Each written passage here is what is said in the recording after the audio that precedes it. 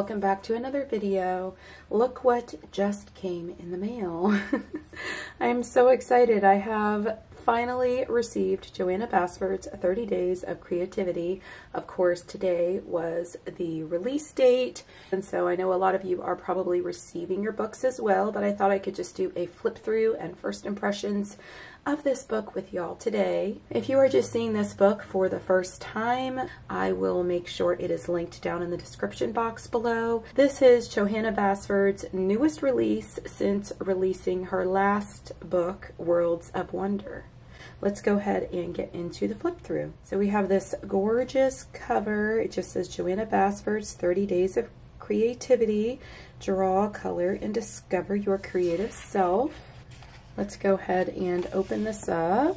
We've got this front page here with a bunch of cute little images, butterflies, cakes, popsicles, uh, hot air balloons, and then it just has this little flap that opens up. You could color in these little circles if you wanted to, and maybe even do a background on this inner flap. And then over here we have our initial front page. If we open it up, we've got her publisher, Penguin Books. And we've got some cute little robots here, and it just has the copyright information, 2021. If we come over here, we've got the This Book Belongs To page, so you can put your name in here. You can color these pretty flowers. You can create a background if you want to. Here we have the introduction page, and it just says this book is for anyone who wants to kickstart their creativity. Maybe you loved art at school but don't know how to get back into it, or maybe you used to draw and paint and somehow the passion just slipped away from you. Or maybe you create every day but want a fresh new challenge to fire up those creative muscles. Well, this is the book for you. So if you want to finish reading this page, you can go ahead and just pause the video here. I'm not going to read through all of that, but this book is basically a 30-day challenge to get you to be creative in some way each day for 30 days. So here she's got her tips page, and it just says, when drawing, I like to sketch in pencil first, then I draw over the pencil, lines with ink, wait for the ink to dry, then gently erase the pencil. There's some advice on art supplies on the next page. For coloring, I prefer pencils to pens. They are more versatile, allowing you to blend colors and vary the intensity of tone. Pens are a little less forgiving and sometimes the ink can bleed through the page. If you are using ink, use the color palette test pages at the back of the book to check if they are likely to bleed through the paper. Pop a few sheets of blank paper under the page you are working on. This catches the ink transfer and also cushions your hand, making for a nicer surface to work on. Don't put pressure on yourself to complete a page each day. All you need to do is 10 minutes a day. At the end of your 30 days, you can revisit the pages that you haven't completed. Keep track of your progress during the 30 days using the habit tracker, and then share your progress by posting photos of your work with hashtag 30 days of creativity or by uploading your pictures to my coloring gallery at johannabasford.com. Both of these actions will help you to keep accountable and part of the community. Two things that we know help us adopt a new habit. Basically, the purpose of this book is just so that you are challenged to create a new habit just to be creative for 30 days. And here it talks about all the different art supplies. If you want to read through all of that, you can go ahead and pause the video there and read through it. Here we have the habit tracker and it just says stay accountable on the 30 day challenge. Each day that you complete the required 10 minutes on a page, color a circle. So you would just color in a circle. Each day you're creative for only 10 minutes. Taking the 30 day challenge again, get a free download of this habit tracker. So you can go to her website and get a free download of it. I love a cup of tea properly brewed in a teapot and served in a pretty teacup. Add decorations to the teacups and coffee mugs on the opposite page. Use the designs on this page for ideas and inspiration. Now we need some cake to go with our tea and coffee. So you can see you get a bunch of little uh, teapots here and teacups and she shows you all of these little doodle designs and everything and then you would just take that and you would apply it to the other page over here in these drawn out coffee mugs. And then after you do your drawing, you could, of course, always come back and color in your own artwork.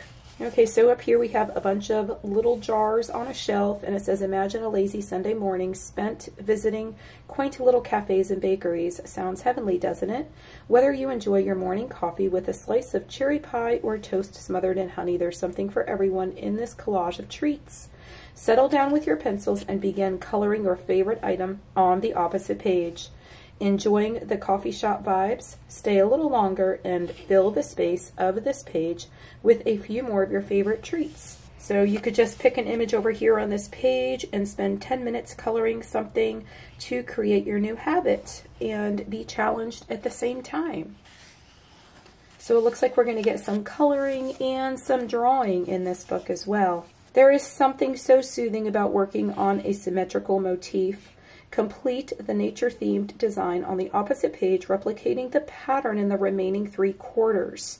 So all you're going to do over here on this page is you are going to take this pattern here and then you are going to finish the motif all the way around. Okay, so this looks like the same as the page from World of Flowers on the opposite page, you will find 25 imagined blooms, all awaiting your colors. Don't worry about trying to identify each stem or about coloring them realistically. Instead, embrace the mixed-up world of my inky hybrids. Use the space below to invent a few of your own flowers. So you could use this space down here and get really creative and copy some of these flowers onto the page here if you wanted to. And you can also come over here and color in all of these. I'm really excited to have this page because in my World of Flowers books, I have colored so many of them just to create tutorials for my YouTube channel. Okay, so now we have this page and it says, bringing a few blossoms indoors is a simple way to to spread a little cheer. Drawing flowers has the same effect on me. Fill the vases with lots of different imagined flowers. Don't get bogged down trying to replicate the exact bloom. Just have fun and make them up. Don't forget to add a few leaves and sprigs of foliage too. So you're just working on filling all of the little vases here. You could even come in and add some patterns onto some of these vases and it would look really, really pretty and then come back and color all of them in. Progress is not perfection. So she just has a brief little thing here and I'm not going to read through all of this, but I'll leave it like this. So if you want to pause the video, you can read it. And then over here, progress, not perfection. And of course, if you wanted to color this in, you could. No matter how old we are, a trip to the candy store is always a treat. Jars of rainbow colored sweets, paper bags stuffed with lemon drops and bonbons or melty popsicles. Get your sugar high on paper without the toothache. Will you use rainbow colors to add pops of vibrant color to these little illustrations or will you go for muted pastel shades? So you have choices and then you're just supposed to color all of this in and then she says, why not try adding some glitter gel pen details? So I love taking my colored pencils and adding gel pens and my Posca and whatever else, but these little candy treats look like a lot of fun to color, and then you could come back and do a background if you wanted to as well. An inky botanical sphere is a perfect place for special words. Create your own flowery circle on the opposite page, and then add a quote or a phrase that inspires or creates joy for you. So you could just draw some flowers all around here. You can probably copy this if you wanted to onto the other page, and then you could put some little motivational words inside there. You could even fill the circle with a bunch of patterns or any kind of design you wanted to. Do you have a passion for pencils? Oh my gosh, is that so funny? oh, I love it. I do, actually. A weakness for washi tape? Me too. Does your heart skip a beat when you set a tin of coloring pencils arranged in neat rainbow order? Yes. Mine too. Art materials are our tickets to adventure. They allow us to draw, color, and craft and literally create cheer. Create your dream set of coloring pencils below or add a splash of color to the motifs on the opposite page. So you could color in all of these colored pencils however you want to. And then we have, again, it looks like these are the same little motifs that were on the front cover where the flap came over. And then we have Up, Up, and Away. We all need a good adventure from time to time, even if it's just of the daydream variety. Doodle some patterns on the hot air balloons opposite and for a few minutes allow yourself to drift away into a cloud-filled sky. And then she just gives you some little tips here for precise patterns. Draw in pencil first and then go back over your lines in ink. I always, always draw in pencil first because I'm always so afraid I'm going to mess something up. And I always come back with my ink and then I come back and I just erase the lines that were underneath it from the pencil. And that's really easy to do. You just use a pencil that does not have as much pigment and you can create lighter lines and just go really, really light with your hand. But you can draw all kinds of cool patterns in these balloons and then color them in. And here she's showing you how to make cakes and how to decorate them and everything. And then it just says use this page to create the cakes of your dreams. And so you can just have a whole page of nothing but cakes. You could copy some of hers. You can create your own designs. Do more of what makes you happy. Life is short, so we have precious little time to waste of things that don't bring us joy. If you are coloring a page or working on a drawing, it's not going the way you would like, course correct. Make some changes, try a few new colors, add some gel pen details, try adding something new to the composition, listen to some music, or rotate the page and work on it upside down. And then she goes on to give you some more ideas. Just always when you're coloring, make yourself happy, and if you feel like something doesn't look right, bring in some other mediums. That's a really great idea. Time for a quick fun doodle game. Fill the heart shapes on the opposite page with as many patterns and shapes as you can. This is a great creative exercise to get you thinking of ways to fill the spaces in your pictures. So you can come over here and just create a whole bunch of different patterned hearts and then you can come back and you could color in the background as well. And again, you could copy her decorations or you can make your own. When I look at this, the only thing I think is Zentangle and how much fun these would be to fill these in with Zentangle designs. I don't know how many of you know what Zentangle is, but I was very much into it not too long ago. Take a deep breath, the ocean waves, and explore this inky coral reef. Bring this collection of underwater illustrations alive with ocean-inspired colors and maybe even a little glitter pen. I love small compositions like these on the opposite page. They are perfect for when you don't have much time and just want to do a small complete picture in 10 minutes. And I love her books for exactly this. And that is what I use World of Flowers for a lot of times because it has all of these little small things on here that you could just color and get something complete and done in one go. Fill these planters with your own leafy house plants. See how many different types of leaves you can draw and don't forget to include some cacti and succulents. So you're just going to come in here and you're going to fill all of these little pots. Now we have some robots. So it says, robots. Oh, how simple life would be if we just had a few extra hands. As you are coloring these little guys, imagine what super helpful functions they could have in your life. Pencil sharpener robot, a laundry folding droid, color a few of your favorites, or the entire Robo Squad. So you could just come in here and color all of these robots. And I'm thinking lots of metallics would be very, very cool on these pages. And then we have a lot of different baking things. So it says, I love a little baking. The simple act of following a recipe and making something delicious and homemade always creates calm in my kitchen. If you haven't gotten the time or the ingredients to whip up a cake just now, then pick up your pencils and color these little baking drawings instead. Every artist is a child. And then she goes on here with a little blurb explaining how every child is an artist and then you could come over here to this page and you can color this in and then create a really pretty background if you wanted to. That looks like it would have been fun with gel pens. And this paper is just like in all of her other books, so it will take several different mediums.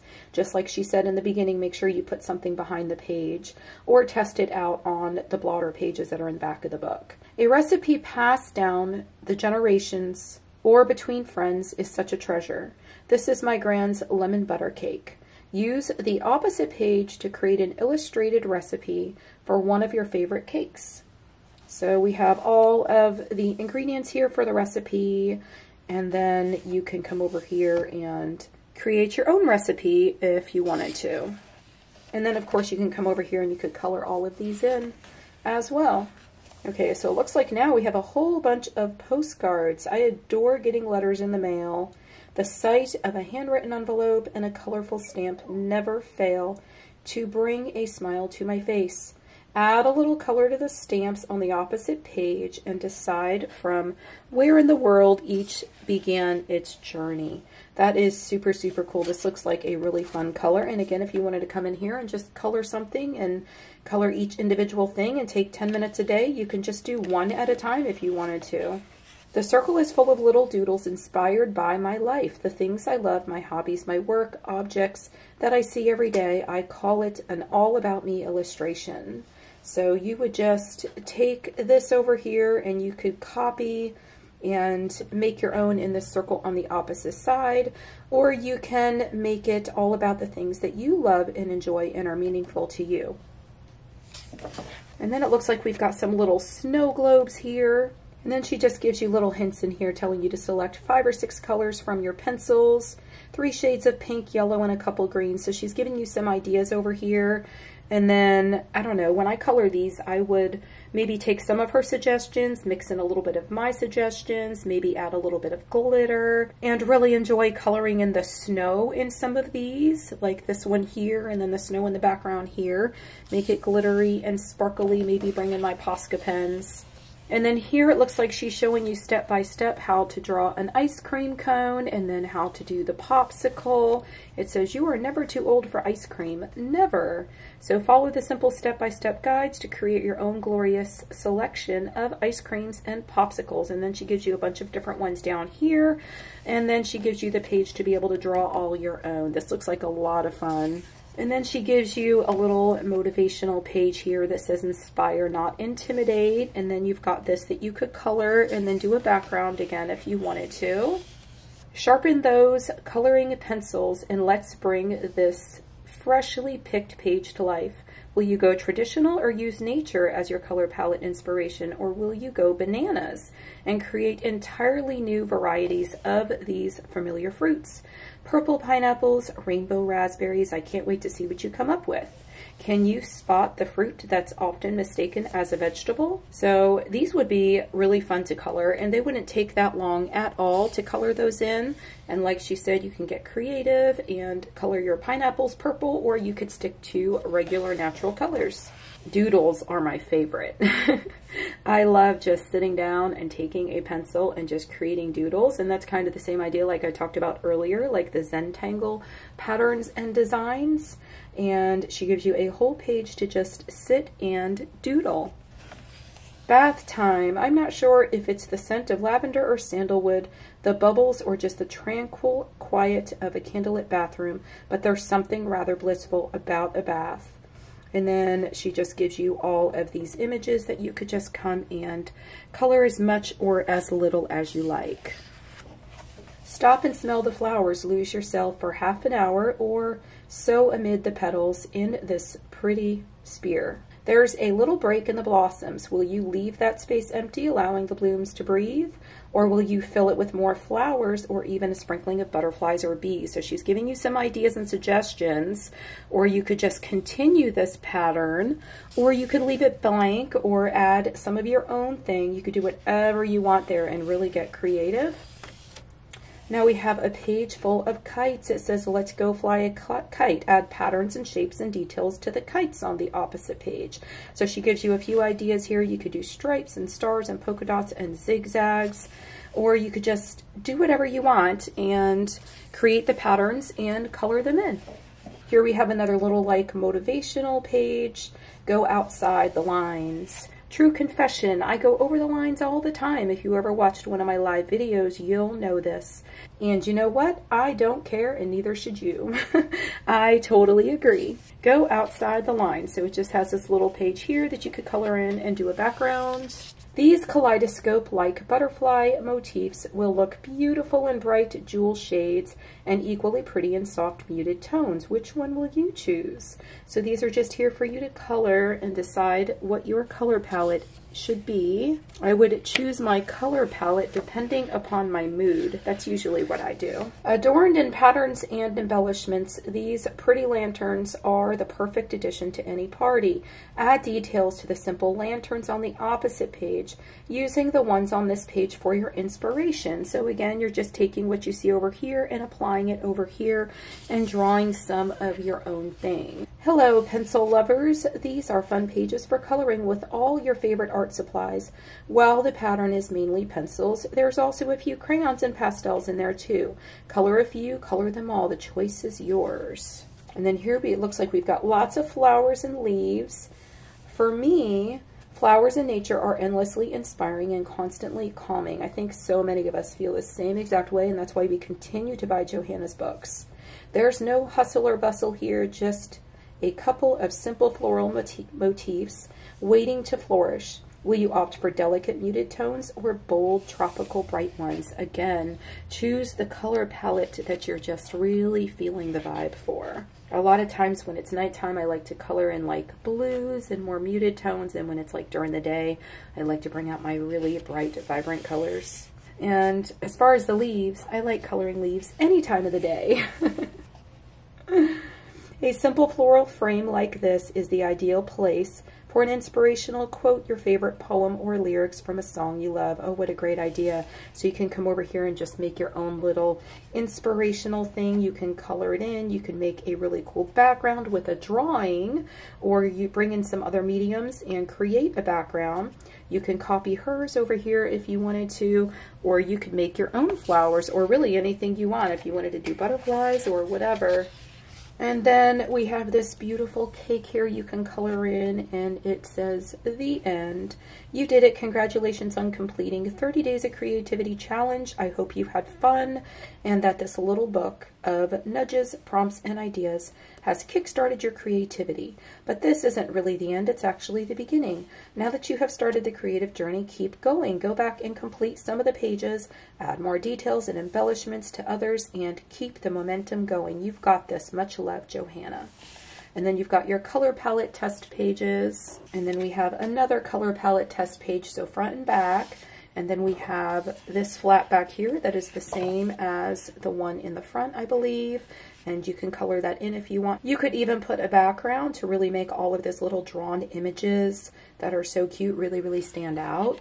And then we have the flap here, and it just shows all of Johanna's coloring books that she has put out so far. And then here is the back cover, your invitation to create calm and discover more joy. And then, of course, she tells you a little bit about the book and exactly what it is. And then here it says Johanna Basford is the creator of Worlds of Wonder, and it lists all of the other books that she has created, and she has sold 21 million copies worldwide. Wow, that's a lot of coloring books sold. And y'all know how much we all love all of her coloring books. I also have her other previous drawing book. That is absolutely wonderful. I use that one all the time still, and I get lots of ideas from it. So I'm really excited for this one, and I hope that you enjoyed that flip through and my first impressions. I really, really love this book, and I hope you're able to get your hands on it too. I will see you in the next video. Happy coloring. Bye.